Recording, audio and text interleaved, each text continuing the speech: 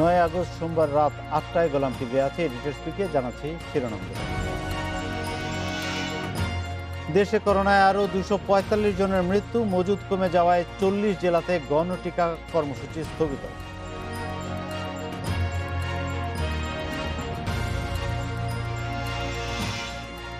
Bank আমানতের সুদ হার কমপক্ষে সাড়ে পাঁচ শতাংশ নির্ধারণ, মূল্যস্ফীতি বিবেচনায় বেঁধে দিয়েছে সরকার।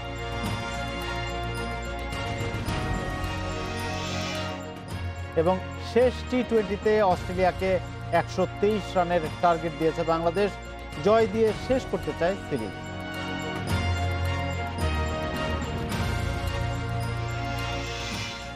দেশে করোনা শনাক্তের হার কিছুটা কমলেও মৃত্যু প্রতিদিন আড়াইশোর কাছে ঘুরপাক খাচ্ছে। তবে জনস্বাস্থ্য বিশেষজ্ঞরা বলছেন, লকডাউন না থাকলে পরিস্থিতি হতো আরও ভয়াবহ। এ নিয়ে কথা বলতে ধানমন্ডি থেকে আমাদের সঙ্গে যুক্ত আছেন বঙ্গবন্ধু শেখ মুজিব মেডিকেল বিশ্ববিদ্যালয়ের উপাচার্য অধ্যাপক ডক্টর শারফুদ্দিন আহমেদ। ডক্টর শারফুদ্দিন আহমেদ আপনাকে স্বাগত। ধন্যবাদ। এগারো তারিখ থেকে আমরা যেটি দেখতে পাচ্ছি কার্যত শিক্ষা প্রতিষ্ঠান ছাড়া আসলে সবকিছুই খুলে যাচ্ছে। আর মৃত্যুর সংখ্যা যদি আমরা বলি আড়াইশোর আশেপাশে ঘুরপাক খাচ্ছে এখনও। এখনও কোনো পরিবর্তন নেই প্রায় অনেক দিন হয়ে গেল আমরা লকডাউনের মধ্যে আসছি। আবার একটি কথা বলা হয় যে মানে লকডাউন না থাকলে পরিস্থিতি আরও ভয়াবহ হতো। এখন এগারো তারিখের পরে আসলে কি অপেক্ষা করছে আমাদের জন্য? ধন্যবাদ আপনাকে সুন্দর একটি প্রশ্ন করার জন্য। আপনারা জানেন, করোনা একটি রহস্যজনক জীবাণু এবং সারা পৃথিবীর একশো বছরে আমরা যারা ডাক্তার হয়েছিলাম, আমাদের ওই ডাক্তারিতে এই লেখাপড়া ছিল না যে একসময় এরকম কোনো ঘটনা ঘটতে পারে। সারা বিশ্ব এখন বিপর্যস্ত। ইটালির প্রেসিডেন্টের সেই বক্তব্য আমি প্রায়ই স্মরণ করি এবং বলি যে আমাদের এখন আর কিছু করার নাই, আকাশের দিকে তাকিয়ে থাকতে হবে। বাংলাদেশে একসময় মসজিদে গত বছর মে মাসে নামাজ পড়তে গিয়ে দেখি আমি ছাড়া আর কারও মাস্ক নাই। তখন তারা মনে করতো যে মাস্ক যে পরে তারই করোনা হয়েছে। আজকে গ্রামের মানুষও কিন্তু আক্রান্ত হচ্ছে এবং আপনি জানেন যে মৃত্যু হার যখন পঞ্চাশ, ষাট, পঁয়ষট্টি হতো, তখনই আমরা ভয় পেতাম। এখন দুইশো পঁয়তাল্লিশ, তাতেও আমরা ভয় পাই না। তারপরেও গ্রামে গ্রামে ছড়িয়ে পড়ার জন্য বয়স্ক যারা টিকা নেয়নি, তাদের মধ্যে ছড়িয়ে পড়ার জন্য মৃত্যু হার বেশি। গ্রামের মানুষ ইভেন করোনাকে বলে যে, এই করোনা বললে মনে হবে যেন তার একটা বড় রোগ হয়েছে, এই জন্য বলেও না। এবং শ্বাসকষ্ট লাং ইনফেকশন যখন ফিফটি পার্সেন্টে বেশি হয়ে যায়, বাঁচার তাগিদে যখন হাসপাতালে যায়, তখন অক্সিজেন দিয়ে অনেক সময় অক্সিজেন বা অন্যান্য ট্রিটমেন্ট লেট হওয়ার কারণে অনেক রোগীর মৃত্যু হয়। এই কারণে কিন্তু মৃত্যু হার বেড়েছে। তারপরও আপনি যথার্থই বলছিলেন যে, যদি এই লকডাউন ঢিলে ঢালা হোক আর যাই হোক লকডাউন না দিলে হয়তো মৃত্যু হার আরও বাড়তো। করোনার চিকিৎসায় তিনটি জিনিসের খুব প্রয়োজন। প্রথমটি হলো এই যে করোনার ট্রান্সমিশনটা ব্রেক করা। ট্রান্সমিশন ব্রেক করাটা হলো লকডাউনের একটা কাজ। আপনার মনে আছে, গত বছর ট্রোলার বাগ এবং শিবচরে প্রথম যারা ইটালি থেকে এসেছিল, ওটা হয়েছিল অরিজিনাল লকডাউন ঘর থেকে কেউ বেরোয়নি এবং সুন্দরভাবে আমরা সেই সময় ট্যাকেল করেছিলাম। পরবর্তীতে আমরা টেস্টের কথা বলেছিলাম। বর্তমান সরকারের আমলে আমি বলব যে একটা পিসিআর মেশিন থেকে এখন সাতষট্টি পিসিআর মেশিন বিনামূল্যে এখন শুধু পিসিআর টেস্টই না, এখন কিন্তু জিন এক্সপার্টের মাধ্যমে অ্যান্টিজেন টেস্টও হচ্ছে। অর্থাৎ আমাদেরকে টেস্ট করতে হবে। টেস্ট করে যদি পজিটিভ হয় আইসোলেশন হবে এবং পরবর্তী পর্যায়ে আমরা আমি যদি আবারও আমার আগের জায়গায় ফিরে যাই যেটি বলছিলাম যে এই তো পরিস্থিতি বর্তমানে আমরা আমরা ফেস করছি।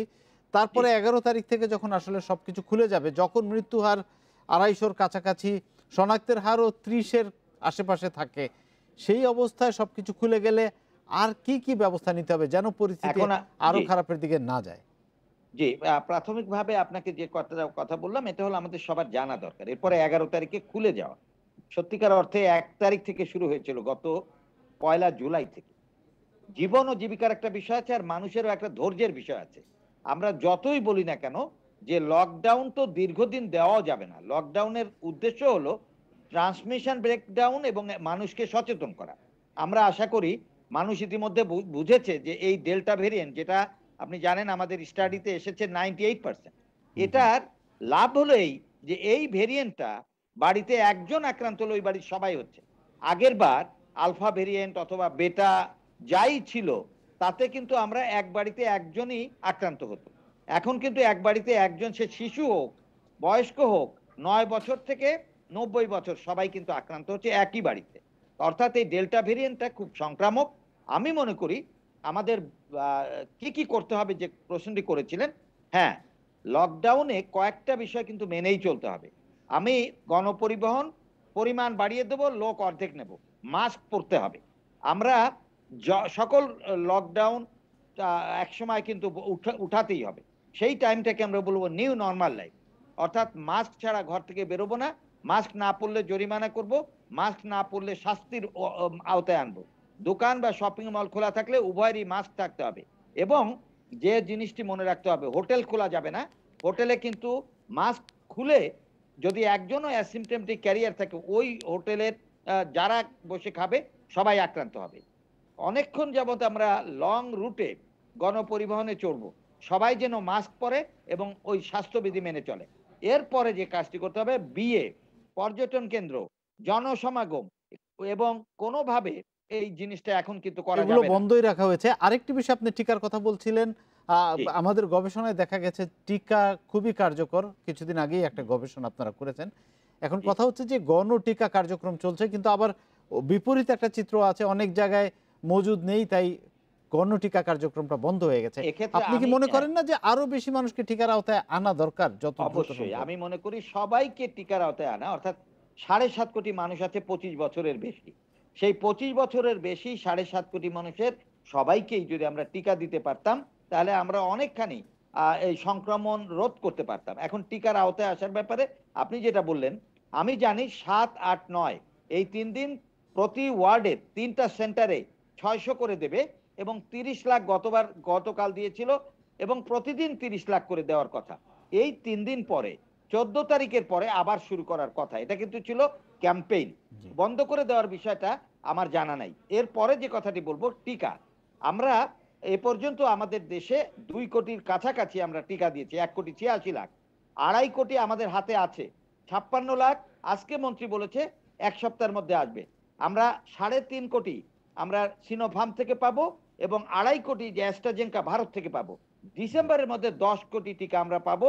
আগামী জানুয়ারিতে সাত কোটি। অবশ্যই আমরা আশা করব যে ডিসেম্বর জানুয়ারি নাগাদ আসলে অনেক বেশি একটা সবাইকে একটা দিতে পারব। এই টিকা নেওয়ার জন্য আমাদের সবাইকে মাস্ক পরে বেঁচে থাকতে হবে। অবশ্যই। এই মাস্ক পরাটা আমাদের এখন বড় চ্যালেঞ্জ গণ মাস্ক গণ টিকা এই হ্যাঁ, আরেকটা বিষয় একটু আরেকটি প্রসঙ্গ একটু আপনার কাছে আনতে চাই আমি সেটি হচ্ছে যে এখন করোনার পাশাপাশি আরেকটি যেটি আমাদের সংখ্যার বিষয় সেটি হচ্ছে ডেঙ্গুর প্রকোপ বেড়ে গেছে সব জায়গায় এবং এটা আশঙ্কাজনক পর্যায়ে পৌঁছে গেছে অলরেডি আমরা সংখ্যার মধ্যে আছি কিছু কিছু খবর পাওয়া যাচ্ছে, একই রোগীর ডেঙ্গু এবং করোনা দুইটাতেই আক্রান্ত হচ্ছে আমরা জানি যে চিকিৎসার আপনাদের একটা প্রোটোকল আছে ডেঙ্গু রোগীর জন্য একটা নির্দিষ্ট প্রোটোকল আপনারা মেনটেন করেন, করোনা রোগীর জন্যও আছে, কিন্তু দুইটা যখন আক্রান্ত হয়, একই রোগী, দুইটার এরকম ভয়ানক রোগে, সেই রোগীকে কীভাবে আসলে চিকিৎসা করা সেইটার জন্য বিশেষায়িত কোনো ব্যবস্থা আছে জি। কিনা ধন্যবাদ আপনাকে। প্রথমেই বলি যে যদি কারও এখন জ্বর হয়, আমরা দুটো টেস্টই করতে বলব। ডেঙ্গুর জন্য আইজিজি আইজিএম এবং করোনার জন্য আমরা পিসিআর টেস্ট এরপরে দেখা যাচ্ছে যে একটু সাইন সিমটমের মধ্যেও প্রভেদ আছে। যেমন টেম্পারেচার আপনার ডেঙ্গুতে অনেক বেশি হয়, আবার করোনাতে কম হয়। শ্বাসকষ্ট এবং এটা হবে করোনাতে, কিন্তু ওখানে শ্বাসকষ্ট হয় না ডেঙ্গুতে।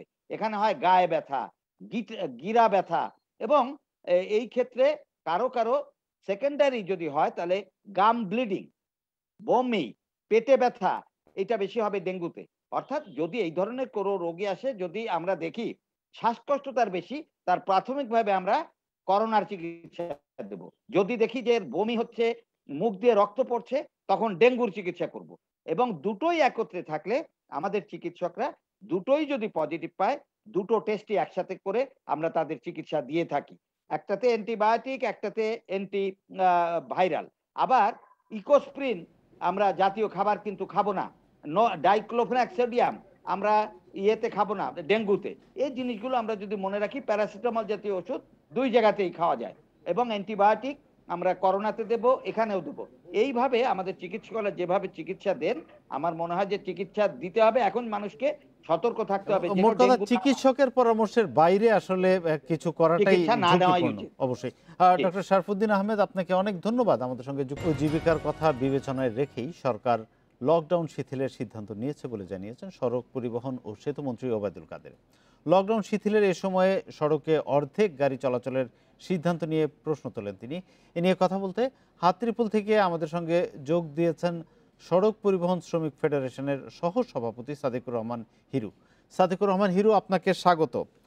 আমরা দেখলাম যে সিদ্ধান্ত হয়েছে এগারো তারিখ থেকে লকডাউন শিথিল করা হবে এবং সড়কে অর্ধেক গণপরিবহন চলবে, বাসের কথাই যদি বলি, কিন্তু সব আসনে যাত্রী নেওয়া যাবে।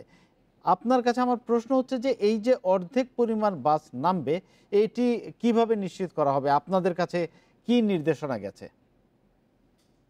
ধন্যবাদ টিভিকে আমি আপনাকে যেটা বলতে চাই, দেখেন, এটা তো এমন একটা সিদ্ধান্ত দিল যে সিদ্ধান্তটা আরও আমাদের মধ্যে, শ্রমিকদের মধ্যে, মালিকদের মধ্যে একটি অনৈক্য সৃষ্টি এবং মারামারি, দাঙ্গা হাঙ্গামার একটি ঘটনা ঘটছে।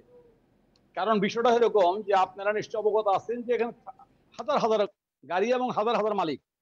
এখানে আপনি লক্ষ্য করবেন, বাংলাদেশে খুব কম সংখ্যক গাড়ির মালিক আর আছে যাদের নাকি মনে করেন তাদেরকে বড় মালিক হিসেবে আমরা চিহ্নিত করি। যেমন সুহাগ বলেন, হানিফ বলেন, শ্যামলী বলেন এনা বলেন, কিন্তু বাকি যারা আছে, তারা কিন্তু সবাই কিন্তু এই পর্যায়ে পড়ে না। এমনও এখানে কিন্তু অধিকাংশ মালিক আছে, যারা নাকি একটা গাড়ির মালিক, দুইটা গাড়ির মালিক।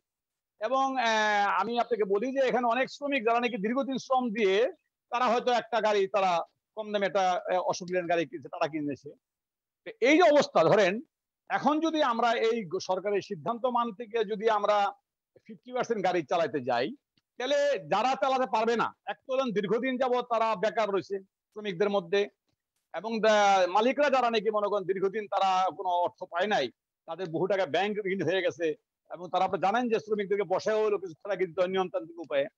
এখন তো এটা এমন একটা পর্যায়ে যাবে, যদি আমরা কার্যকরী করতে যাই এই সিদ্ধান্তটা, তাহলে সব জায়গাটা মারামারি হবে এবং শ্রমিকরা এটা নিয়ে বিদ্রোহ করবে, মালিকরা এটা নিয়ে আপত্তি করবে, অনেক ঝামেলা হবে। আর আমি আপনাদের মাধ্যমে সবচেয়ে দুঃখজনক একটি কথা বলতে চাই। দেখেন, আমরা কিন্তু বারংবার বলে আসছিলাম আমাদের ফেডারেশনের পক্ষ থেকে, মালিক সমিতির পক্ষ থেকে যে আমরা দুর্ভাগ্য আমাদের, যে আমরা একটা এত বড় একটা ট্রেডের সাথে আমরা সম্পর্কিত। কোনো সময় কখনো কোনো সিদ্ধান্ত নেওয়ার ব্যাপারে, বিশেষ করে করোনা কালীন আমাদেরকে নিয়ে আগে হয়তো বসছে, কিন্তু ইদানিং কিন্তু আমাদের সাথে বসা হচ্ছে না। আমাদেরকে জানানো হচ্ছে না যে কীভাবে আমরা চালাবো। আমরা তো তোর মনে করি যে আমাদের সাথে সরকারি উচ্চ পর্যায়ে ধরেন মন্ত্রণালয় যদি বসতে না পারে করোনার কারণে তাহলে আমাদের বিআরপি আমাদের সাথে বসে বলতে পারে যে আমরা কি নীতি উপর চালাবো গাড়িটা? হিসেবে আপনাদের সঙ্গে আলোচনার দরকার আছে। সাদিকুর রহমান হিরু আমি একটু আপনার কাছে যদি জানতে চাই সেটি হচ্ছে যে পরশু দিনই এটা ইমপ্লিমেন্ট হচ্ছে এই- এটা কার্যকর হতে যাচ্ছে অর্ধেকারী আপনাদের কাছে কি নির্দেশনা এসেছে? সুনির্দিষ্ট কোনো নির্দেশনা এসেছে কিনা যে কীভাবে আপনারা সিলেক্ট করবেন? জি বলেন। শুনছি আপনার আমাদের কাছে যে নির্দেশনা সরকারের যে প্রজ্ঞাপনটা, আমি আগে বললাম যে আমরা প্রজ্ঞাপনটা দেখেছি। এবং প্রজ্ঞাপনের পরিপ্রেক্ষিতে কিন্তু আপনি নিশ্চয় অবগত আছেন যে আমাদের বাংলাদেশ সড়ক পরিবহন সমিতির মহাসচিব মিস্টার খন্দকার আনায়তুল্লাহ উনি এটার প্রতিবাদ দিচ্ছেন যেন এইভাবে চালানো সম্ভব না। এবং আমাদের ফেডারেশনের নেতৃবৃন্দ আজকে আমরা সকালে সিট টুগেদার, আমরা মালিক সমিতিতে বসছিলাম। আমরা দেখলাম যে এই সিদ্ধান্ত কার্যকরী করতে গেলে আমাদের জন্য খুবই দূরে ব্যবহার হয়ে পড়বে। আমরা বিষয়টা আমাদের যারা, আমাদের যে অথরিটি যে যোগাযোগ মন্ত্রী মাননীয় যোগাযোগ মন্ত্রী আমরা ওনাকে বলার চেষ্টা করেছি এবং আপনি নিশ্চয়ই শুনেছেন যে উনি উনি নিজেও কিন্তু বলেছেন যে এটা আলোচনার বিষয় ছিল। দেখেন তাহলে এই পেডের যে নাকি সরকারি যে নাকি দায়িত্বপ্রাপ্ত মন্ত্রী সবচেয়ে দুর্ভাগ্য আমাদের কথা বাড়ি দেন। আমরা তো বলছি যে আমাদেরকে জানানো হচ্ছে না কোথেকে সিদ্ধান্ত আসছে কীভাবে আসছে। এখন আপনারা নিশ্চয় অবগত হলেন যে মাননীয় মন্ত্রী মহোদয় যিনি নাকি এই ট্রেডের অবশ্যই আমরা শুনেছি জনাব ওবায়দুল কাদেরের বক্তব্য আমরা শুনেছি। সাদিকুর রহমান হিরু এই যে যেটি হচ্ছে যে এর আগে যেভাবে বাস চলছিল অর্ধেক আসনে যাত্রী নিয়ে এবং ষাট শতাংশ ভাড়া বাড়িয়ে, সেইটার কি পক্ষে আপনারা? তাহলে এই যে করোনা করোনা পরিস্থিতি এখন ভয়াবহ, তার মধ্যে যে শিথিল করল, কিছু একটা তো ব্যবস্থা থাকতে হবে যেন মানুষ ঝুঁকির মধ্যে না পড়ে। আপনারা কি সুনির্দিষ্ট কোনো প্রস্তাব দিয়েছেন? কোনটা করলে ভালো হয় যাতে পরিবহন খাতের জন্য এবং যাত্রীদের জন্য? দেখেন, ধন্যবাদ আপনাকে। আমরা বলতে চাচ্ছি যে এর আগে যে সিস্টেমটা করা হয়েছিল, যে সিক্সটি পার্সেন্ট ভাড়া বৃদ্ধি নিয়ে আমরা গাড়ি, আমরা দুই সিটের মধ্যে একজন প্যাসেঞ্জার নেব। যদি এখানে আমাদের অধিকাংশ সময় আমাদের লস হইতো লস থাকতো লস হলেও কিন্তু আমরা মনে করি যে এটা এটা এটা একটা ভালো ভালো স্বাস্থ্যবিধিটা মোটামুটি মেনটেন করা মনিটর করা অবস্থা। কিন্তু এখন যেটা করছে, এটা তো দুর্ভাগ্যজনক এবং এটা নিয়ে অনেক ঝামেলা হবে। এটা ঝামেলায় কে সামলাবে আমি আমাদের এটাতে চিন্তা চিন্তা করছি। আপনি যে বক্তব্যগুলো দিলেন এগুলো সরকারি সংশ্লিষ্ট পর্যায়ে আপনারা পৌঁছেছেন কোনো সিদ্ধান্ত কি কালকে আসবে? মানে আমি জানতে চাচ্ছি যে পরশু দিনই তো এটা ইমপ্লিমেন্ট করার কথা। কালকের মধ্যে কি কোনো সুনির্দিষ্ট কোনো কিছু আমরা জানতে পারব কিনা? কীভাবে আপনারা এটা আমাদের আমাদের ফেডারেশনের সম্মানিত সভাপতি সাহেব এবং মালিক সমিতির মহাসচিব সাহেব। ওনারা এই জিনিসটা মাননীয় মন্ত্রী মহোদয়কে অবগত করেছেন এবং মাননীয় মন্ত্রী মহোদয় আশ্বস্ত করেছেন উনি ক্যাবিনেট সচিব মহোদয়ের সাথে কথা বলে সরকার উচ্চ পর্যায়ে কথা বলে এই ব্যাপারে একটা বিহিত ব্যবস্থা করবেন। আমি ওয়েটিং ফর দ্যাট আমরা ইতিমধ্যে মাননীয় স্বরাষ্ট্রমন্ত্রী যেহেতু পরিবহন এগুলো জিনিস দেখে, আমরা ওনাকেও বলার চেষ্টা করেছি। উনিও বলেছেন, আশ্বস্ত করেছেন যে হ্যাঁ ওনারা এটা উচ্চ পর্যায়ে আলোচনা করে এটা আমাদের যুক্তিসঙ্গত দাবিটাকে যাতে সরকার বিবেচনা নেয়, সে ব্যাপারে চিন্তা ভাবনা করছে জনাব সাদিকুর রহমান হিরো, আপনাকে অনেক ধন্যবাদ। সুদের পরে এবার আমানতের সুদ হার বেঁধে দিয়েছে বাংলাদেশ ব্যাংক। এই হার কমপক্ষে সাড়ে পাঁচ শতাংশ করতে হবে। আমানতের ওপর সুদ বা মুনাফার হার অতিমাত্রায় হ্রাস পেলে ভবিষ্যতে আমানতে বিরূপ প্রভাব পড়ার আশঙ্কায় কেন্দ্রীয় ব্যাংকের। তাই আমানতের সর্বনিম্ন হার বেঁধে দেওয়ার এই সিদ্ধান্ত। এ নিয়ে কথা বলতে গুলশান থেকে আমাদের সঙ্গে যোগ দিচ্ছেন পলিসি রিসার্চ ইনস্টিটিউটের নির্বাহী পরিচালক ডক্টর আহসান এইচ মনসুর। স্বাগত আপনাকে। এই যে আমানতের সুদ হার সর্বনিম্ন সাড়ে পাঁচ শতাংশ বেঁধে দেওয়া হচ্ছে, এই প্রসঙ্গে আপনার মতামত জানতে চাই। আপনি বিষয়টিকে কীভাবে দেখছেন? দেখুন, আমি এটাকে দেখছি যে বাজার ব্যবস্থার মধ্যে এটাকে একটা অযাচিত হস্তক্ষেপ হিসাবে। ইন্টারেস্ট রেট ডিটারমিন হবে বাজার ব্যবস্থার মাধ্যমে। সেটাই হওয়া উচিত। সরকার গত বছর এটাকে প্রথমে সিলিং করে দিল। আচ্ছা সিলিং এর ভিতরে অপারেট করবে, এখন সেখানে আবার সাব সিলিং সাব ফ্লোর করে দিল এর নিচে রাখা যাবে না। একদিকে সিলিং একদিকে ফ্লোর তাহলে তো আমার হেডস মানে আমি দাঁড়ানোর স্কোপটাই নাই। মাথাকে নামিয়ে শুয়ে বসে হামাগুড়ি দিয়ে হাঁটতে হবে, ব্য- ব্যাংকের ব্যবস্থাপনা করতে গেলে। এটা কিন্তু বাজার ব্যবস্থার সাথে সাংঘর্ষ। যেটা প্রয়োজন ছিল যে কেন এটা হয়েছে, কেন ইন্টারেস্ট রেট কমলো, সেটাকে অ্যাড্রেস করা। ইন্টারেস্ট রেট কমার মূল কারণ হচ্ছে তারল্যের অতিসাহ্য এত বেশি তারল্য হয়ে গেছে ব্যাংকিং সিস্টেমে আর্থিক খাতে, যে এই তারল্যগুলো এখন একটা সমস্যার সৃষ্টি করেছে। অতিরিক্ত চাহিদা একদিকে কমে গেছে কেউ ব্যাংক থেকে ঋণ নিচ্ছে না। অন্যদিকে প্রচুর পরিমাণ তারল্য ব্যাংকে এসে জমা হচ্ছে। বাংলাদেশ ব্যাংকের এই প্রণোদনা প্যাকেজের কারণে, তারপরে আমাদের রেমিটেন্সের প্রবাহের কারণে রিজার্ভ বিল্ড আপের কারণে, এই এই এই অর্থের বাজারে চলে এসেছে। এটাকে এখন আমাদেরকে ম্যানেজ করতে হবে, যেটাকে আমরা বলি লিকুইডিটি ম্যানেজমেন্টের মাধ্যমে। অর্থাৎ মপিং আপ অপারেশন পানি যেমন অতিরিক্ত পানি যদি আমার ফ্লোরে পড়ে যায়, আমি যেমন সেটাকে কেচে তুলে ফেলব, কাপড় দিয়ে মুছে ফেলব, ঠিক একইভাবেই ব্যাংক বাংলাদেশ ব্যাংকে এখন এই তারল্যটাকে মপ আপ করতে হবে। সেটা করার জন্য যে প্রসেসটা সেটা না করে বাংলাদেশ ব্যাংক হঠাৎ করে এই রেগুলেশনটা দিয়ে দিল। ডক্টর আহসান নিচু মনসুর আপনি বলছিলেন মপিং আপ বা তারল্য যেটি বাজারে আছে অতিরিক্ত অর্থ সেটিকে একটি ম্যানেজমেন্টের আওতা নিয়ে আসা। কিন্তু আমরা যদি তাকাই এই যে যখন ঋণের সুধার সর্বোচ্চ নয় শতাংশ বেঁধে দেওয়া হলো তারপর দেখা গেল যে প্রতিযোগিতার কারণে অনেক ব্যাংক সুদের হার সাড়ে ছয় শতাংশও নামিয়ে এনেছিল। একইভাবে আমানতের সুদের হার চলে এসেছিল আড়াই শতাংশে। যেটা আসলে একেবারেই যৌক্তিক না তাহলে যারা আমানতকারী তারা তো আর মানে কোনো রকম সুবিধাই পাচ্ছে না। সেই ক্ষেত্রে একটা মিনিমাম সিলিং থাকাটা কি মানে আমানতকারীদের স্বার্থটা কিছুটা সংরক্ষিত হয় না? জানতে চাচ্ছি না, আপনার কাছে। হবে না হবে না কারণ আমি বলি কেন হবে না? এক নম্বর যারা শক্তিশালী ব্যাংক যাদের প্রচুর আমানত আছে তারা আমানতটা কিন্তু ব্যবহার করতে পারছে না। তারা কেন আমানত নিবে আপনার কাছ থেকে আমার কাছ থেকে বলুন? তাদের তো দরকার নেই। তাদের তারল্য এমনি বেশি আছে। তারা তো লোন দিতে পারছে না। লোন তো মানুষ নিচ্ছে না। উদ্যোক্তারা লোন নিচ্ছে না। এই অবস্থাতে কেন আমার কাছ থেকে, কেন আমি আপনার কাছ থেকে, আমার কাছ থেকে তারা তারা ডিপোজিট নেবে? তাদের কোনো ইনসেন্টিভ নেই। তারা বলে দিবে, আপনারা অন্য জায়গায় যান। অন্য জায়গায় যেয়ে আপনার আপনার টাকাটা রাখুন। তাহলে আমি কি অবস্থা হবে? আমি একটা ভালো ব্যাংক থেকে আমাকে চলে আসতে হবে। আমি কোথায় যাব? আমি হয়তো যাব স্টক মার্কেটে যাব। আমি হয়তো যাব পিপুলস লিজিং এর মতো একটা থার্ড রেট কোম্পানির কাছে যেখানে যে আমি ধরা খেয়ে যাব। এই রিস্কগুলো বেড়ে যাবে আমানতকারীদের জন্য। আচ্ছা আমি মনে করি সরকারের এখানে হস্তক্ষেপ করে আমানতকারী কোনো উপকার তো হবেই না আরও কিছু রিস্ক এনহ্যান্সড হয়ে যাবে তাদের জন্য। সেই ক্ষেত্রে আমানতকারীদের যদি প্রোটেকশন দিতে হয় বা এটা নিশ্চিত করতে হয় তাহলে কি কি ব্যবস্থা নেওয়া দরকার? আপনি যেটি বলছিলেন যে এটার একটা ব্যবস্থাপনার মধ্যে আনা দরকার তারল্য কেন বেশি হলো? সেই ক্ষেত্রে আসলে রেমেডিটা কি? রেমিডি হচ্ছে যে কারণে তারল্য বেড়েছে সেই তার- তারল্যটাকে কমাতে হবে সরকারের। তারল্য কেন বেড়েছে? তারল্য বেড়েছে আমাদের রেমিটেন্সের প্রবাহের ফলে রেমিটেন্সটা তো আবার সরকার কিনে নিচ্ছে। ফলে এক- একটা ডলার আসলে পরে চুরাশি টাকা বাজারে চলে আসে। দশ হাজার বিলিয়ন ডলার চলে আসছে বা পনেরো হাজার বিলিয়ন ডলার কথা দেড় বছরে চলে আসছে আমাদের রেমিটেন্স আমাদের রিজার্ভে পনেরো হাজার ডলারকে আপনি চুরাশি দিয়ে গুণ করে দেখুন, পনেরো হাজার বিলিয়ন কত টাকা হয়? এই টাকাটা তো বাজারে এসেছে। এর সাথে যোগ হয়েছে আমাদের পুনর্দনা প্যাকেজের যে এক লক্ষ চব্বিশ হাজার কোটি টাকার পঞ্চাশ শতাংশ বাংলাদেশ ব্যাংক দিচ্ছে হাই পাওয়ার মানি সেই টাকাটাও বাজারে চলে এসছে। এই উৎসগুলোকে যদি কমিয়ে ফেলা যায় এবং বাজার থেকে যদি এই উৎসগুলো, এই তারল্যটাকে উদ্র করে নেওয়া যায়, তাহলেই কিন্তু ইন্টারেস্টটা আবার আস্তে আস্তে বাড়বে।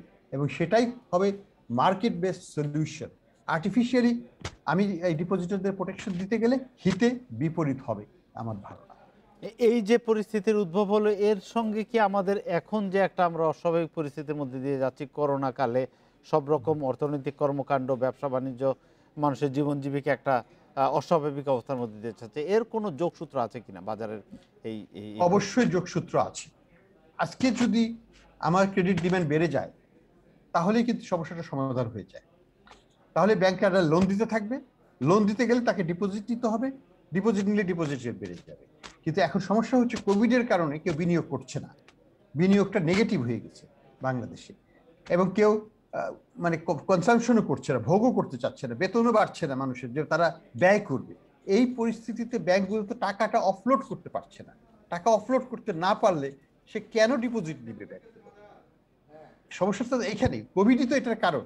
এবং এটা থেকে বের হয়ে আসতে হলে আমাদের এই এই সংক্রমণকে রোধ করে আমাদের অর্থনীতিকে আবার সচল করতে হবে। বিনিয়োগের জন্য যে স্পৃহা সেটাকে আবার জাগিয়ে তুলতে হবে।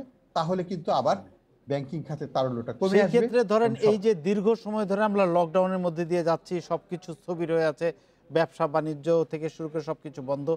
সেইটার নিয়ে বারবারই যখন লকডাউনের প্রসঙ্গ আসে তখন দুটি কথা বলা হয়। এক হচ্ছে গিয়ে জীবন আগে নাকি জীবিকা আগে। দুটোর মধ্যে সমন্বয় কীভাবে করা যায় সেটি নিয়েও মাথা ঘামাচ্ছেন বিশেষজ্ঞরা। আপনি কি মনে করেন যে করোনা যেহেতু একটি লম্বা সময়ের একটি বিষয় আমি স্বাস্থ্যের দিকে যাচ্ছি না অর্থনৈতিক দিক থেকে আপনার বক্তব্যটা জানতে চাচ্ছি যে এটির সঙ্গে এটির সঙ্গে আমাদের অভিযোজন করে কীভাবে অর্থনীতিকে চাঙ্গা রাখা যায় বা স্বাভাবিক জীবনকে আমরা অব্যাহত রাখতে পারি সেই দিকটাতে একটু নজর দেওয়া দরকার বলে মনে করেন কিনা?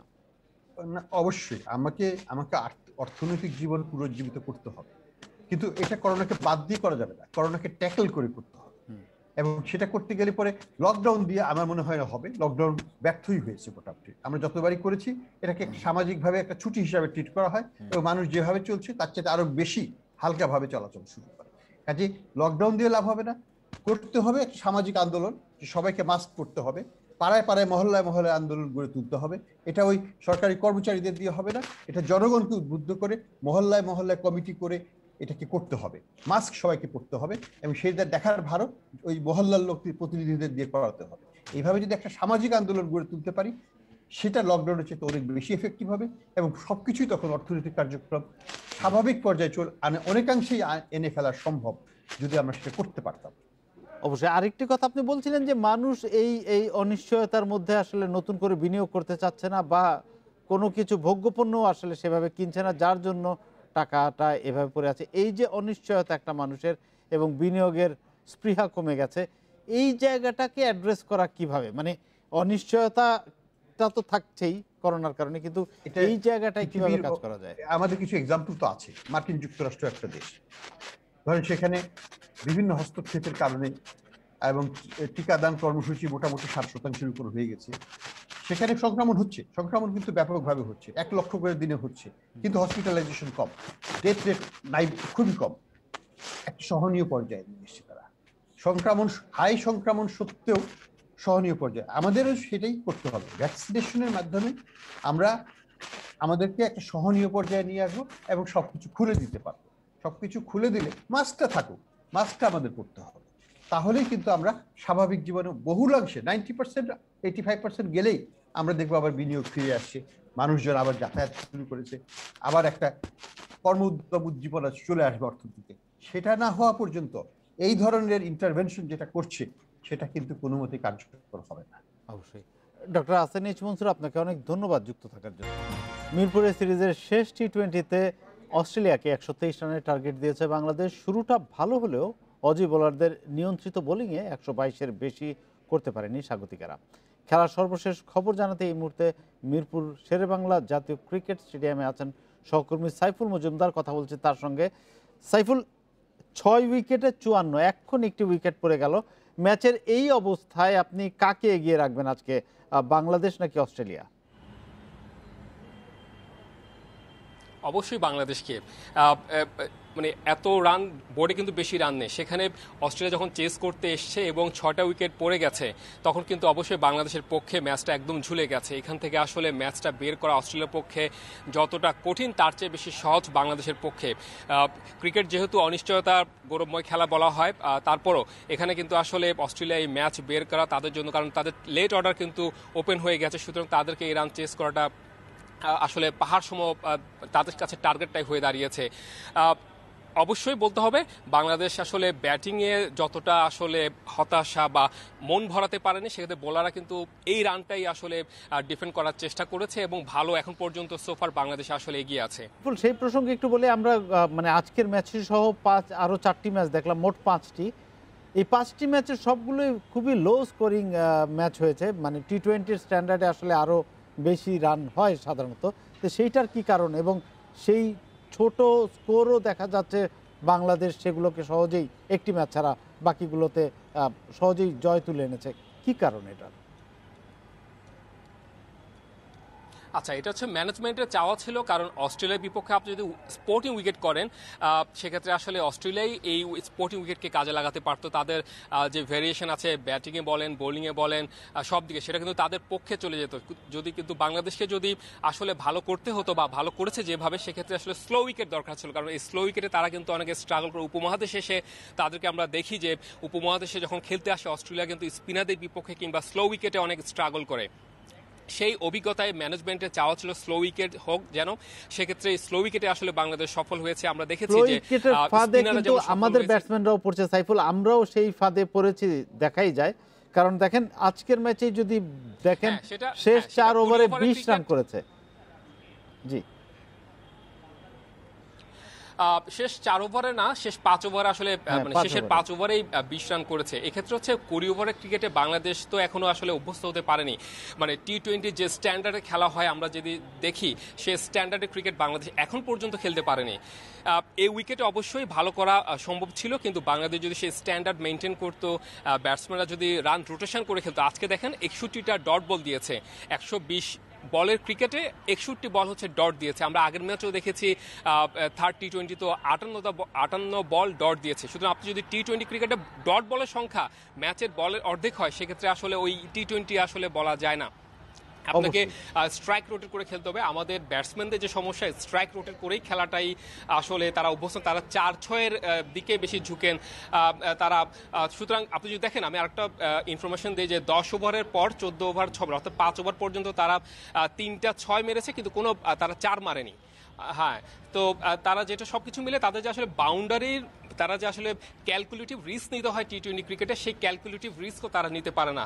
তো সুতরাং যদি রান রোটেশন বল রোটেশন করে খেলতে পারে সেক্ষেত্রে রানটা কিন্তু আসলে সমান থাকে। কিন্তু বাংলাদেশ সেইটাতে না গিয়ে টি টোয়েন্টি ক্রিকেট তারা ধুমধারাকায় ক্রিকেট খেলতে চায় যেটি আসলে সাইফুল এই এই- মাত্র আরও একটি উইকেট পড়ে গেল আমরা দেখলাম জানতে পেরেছি। আর আরেকটি বিষয় আপনার কাছে একটু জানি যে এই পাঁচটি ম্যাচে আমরা দেখলাম যে ওপেনিং জুটি যেটি যারা ওপেন করেছেন, তারা আসলে বড় করতে পারেননি তাদের ইনিংসটা বা বড় কোনো সংগ্রহ দিয়ে যেতে পারেননি পরবর্তী ব্যাটসম্যানদের জন্য। সেটাও কি একটা বড় স্ট্রাগলের জায়গা কিনা আমাদের? অবশ্যই, সিরিজ সিরিজ শুরুর আগে থেকে আসলে দেখেন, লিটন তামিম ছিলেন না। সুতরাং ওপেনিংয়ে তারা দুজন যতটা ভালো করে, নাইম সৌম্য সেটা ভালো করেনি। আমরা চারটা ম্যাচে দেখেছি, সৌম্যকে আজকে একাদশে রেখে আবার তাকে চারে খেলানো হয়েছে। সুতরাং আসলে ওপেনারদের কাছ থেকে যেটা চাওয়া, সেই স্টার্টটা বাংলাদেশ পায়নি। যদিও মন্দের ভালো, আজকে পঞ্চম ম্যাচে এসে ওপেনার বদলে নাইম এবং মাহাদির কাছ থেকে ওপেনিং জুটিতে তারা বিয়াল্লিশ রান করেছেন, যেটা এই পঞ্চম টি টোয়েন্টি দেশে সর্বোচ্চ বাংলাদেশের এই সিরিজে আগেরটা ছিল সর্বোচ্চ চব্বিশ। সেটা মন্দের ভালো বলা যায় কিন্তু এই জায়গাটা কাজ করতে হবে। ওপেনাররা যদি আসলে পাওয়ার প্লেতে ভালো শুরু এনে দিতে পারে বা প্রথম দশ ওভার পর্যন্ত যদি রানের গতি উইকেট আসলে ধরে রেখে রানের গতি বাড়াতে পারে, সেক্ষেত্রে টি টোয়েন্টি রানটা কিন্তু মানে এখানে এখন দেড়শো থেকে একশো আশি বা দুশো রানের খেলা এখন হর হামেশা হয়ে থাকে। কিন্তু আপনি দেখেন বাংলাদেশের যে পাঁচটা ম্যাচ খেলেছে, সেখানে একদমই কম। সুতরাং বাংলাদেশের এই জায়গাটা কাজ করতে হবে। সামনে নিউজিল্যান্ড সিরিজ ব্যাটিং অবশ্যই মনোযোগ দিতে হবে এবং অবশ্যই ভালো জায়গাটা হচ্ছে স্বস্তির জায়গাটা হচ্ছে বোলাররা ব্যাট পেস বোলার কিংবা স্পিনার সবাই দুর্দান্ত করেছে, এটি ম্যানেজমেন্টের স্বস্তির জায়গা, তবে ব্যাটিং নিয়ে অবশ্যই ভাবতে হবে, কাজ করতে হবে। সাইফুল মজুমদার, আপনাকে অনেক ধন্যবাদ যুক্ত থাকার জন্য। আর এই ছিল আজকের এইটার স্পিকে ইন্ডিপেন্ডেন্ট টেলিভিশনের সব খবর আরও বিস্তারিত জানতে চোখ রাখুন আমাদের ফেসবুক ইউটিউব এবং টুইটারে সাথে থাকার জন্য ধন্যবাদ।